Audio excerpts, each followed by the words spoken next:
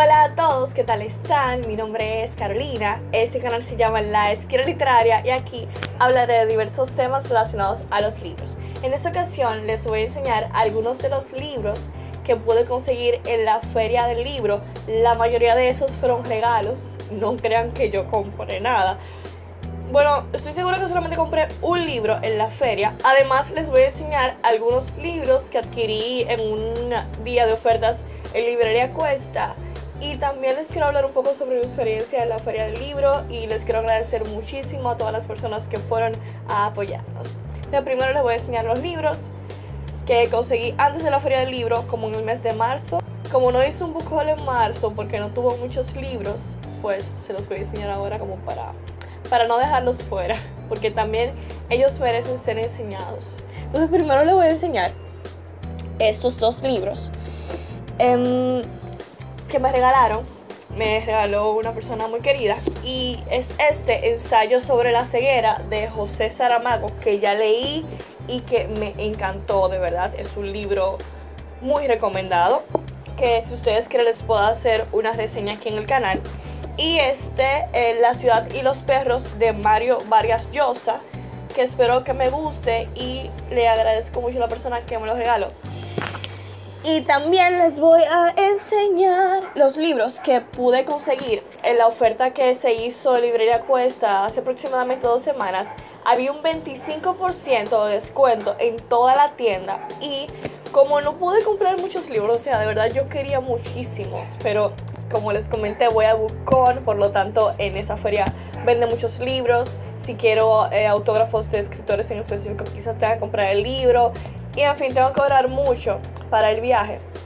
Y por eso reduje un poco el presupuesto para comprar. Sin embargo, tuve que, que, gastar mi dinerito, al menos en estos dos. Y les voy a enseñar este, que es Asesinato en el Orient Express de Agatha Christie. Les cuento que yo no he leído nada de esta escritora y yo sé que es súper popular y por supuesto le quiero dar una oportunidad.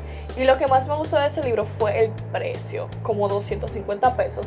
Entonces valió mucho la pena, además de que todas las ediciones de Agatha Christie eran así de bonitas y espero leerla muy pronto.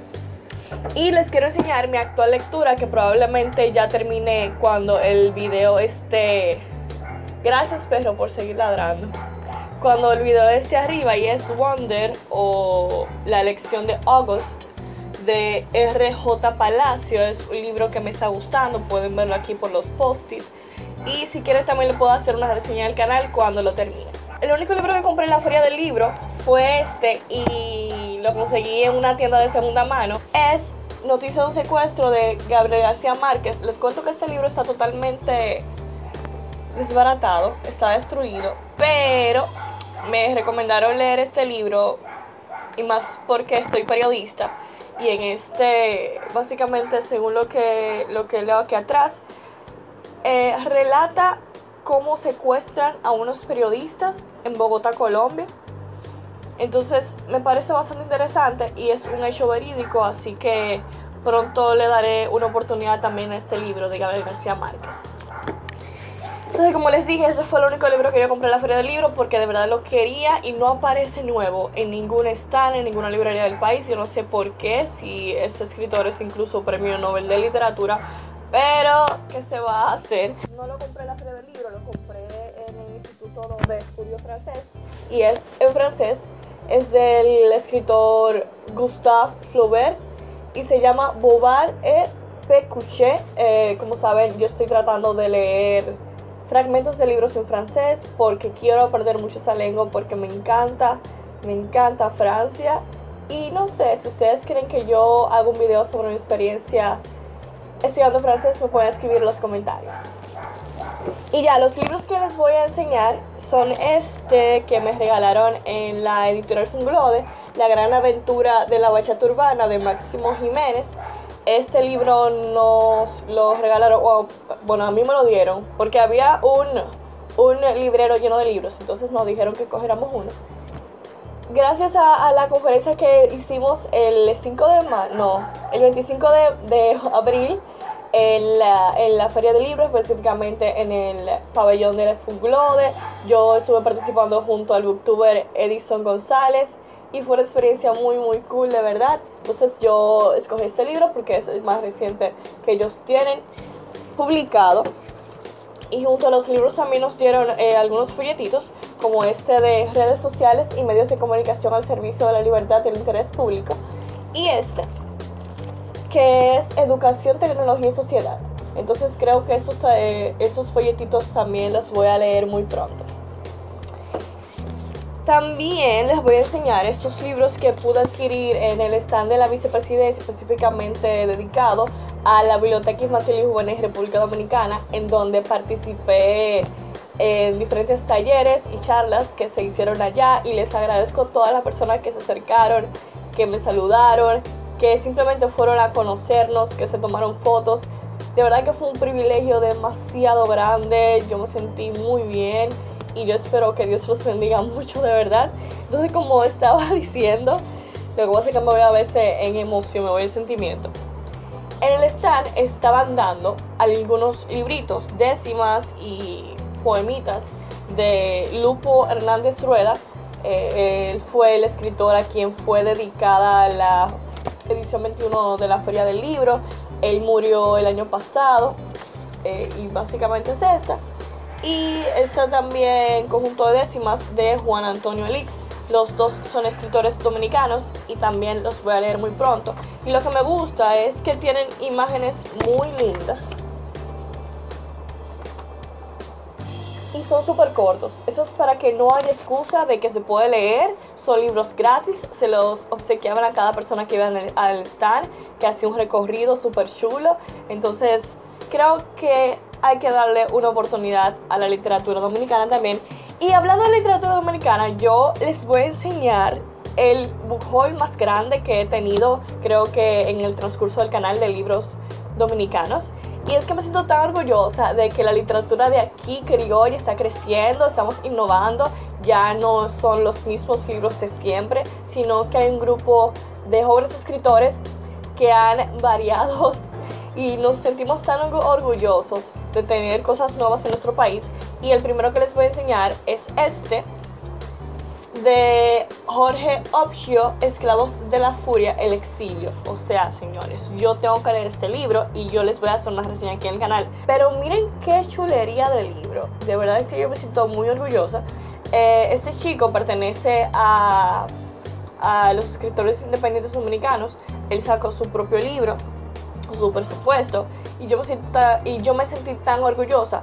Esos libros que les voy a enseñar estaban en el stand de Pluma Poética y les dejaré aquí debajo el link de su Instagram para que si quieren comprar alguno de esos libros pues se puedan poner en contacto con ellos.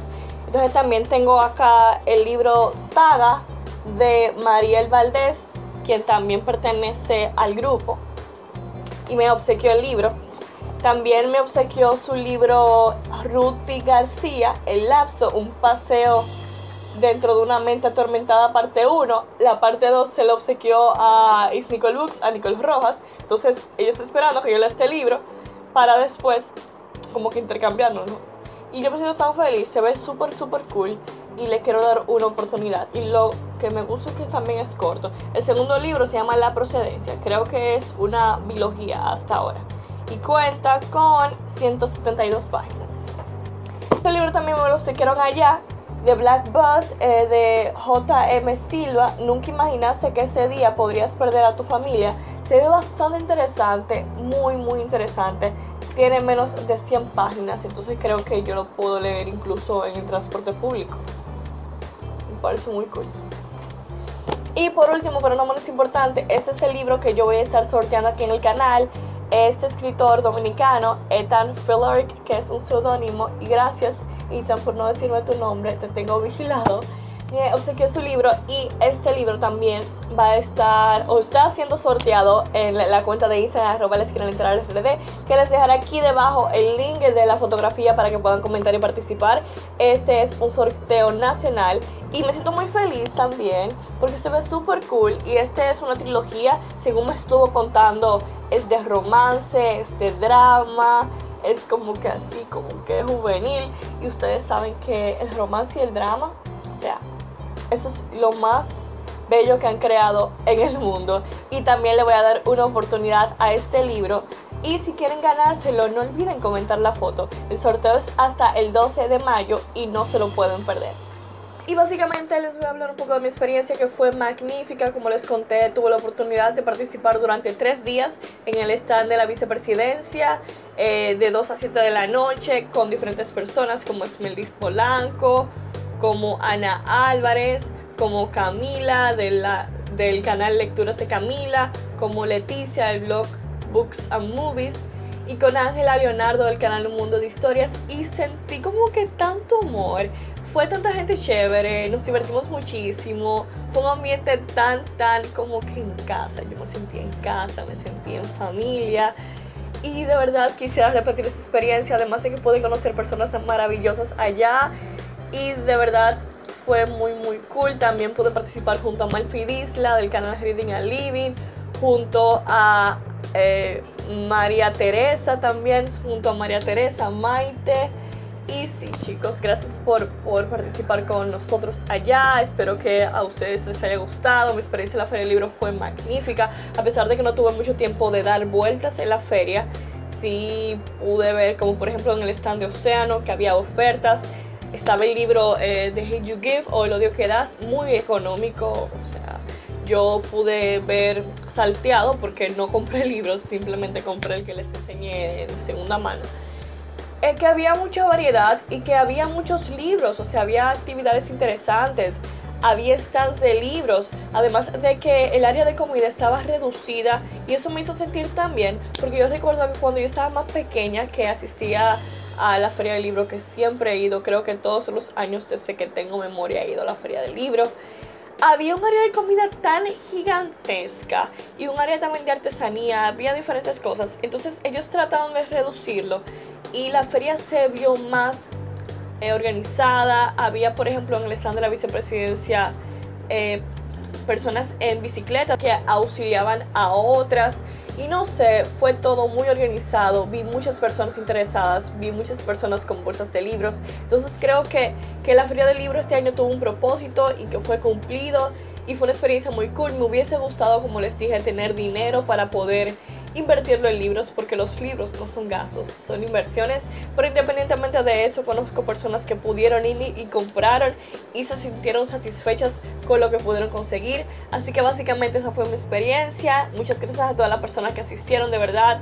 Espero que los podamos ver el próximo año. Pero fue una experiencia muy bonita y yo les agradezco muchísimo a ustedes por todo el apoyo que me han dado durante esos dos años en Booktube. Y recuerden también acompañarnos en los blogs y videitos especiales que estaremos haciendo Lucero Ducos del canal Lululice Books y Nicole Rojas del canal Is Nicole's Books y of course moi de la esquina literaria RD con el hashtag isleñas en Bookcon. Así que si les gustó este video, recuerden darle me gusta, suscribirse al canal y compartirlo con sus amigos lectores. Recuerden que me pueden escribir si Ok, recuerden que me pueden escribir si fueron a la feria del libro, si consiguieron algunos libros en este mes de abril o lo que sea que me quieran escribir en los comentarios si han leído alguno de estos libros, si les interesa esta nueva época de la literatura dominicana, cuál quieren que yo lea primero, todo lo que me quieran escribir me lo dicen en los comentarios. Y chicos, muchas gracias por ver este video, hasta la próxima, bye.